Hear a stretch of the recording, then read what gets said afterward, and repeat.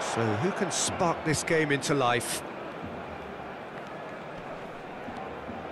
Gets a good foot in there.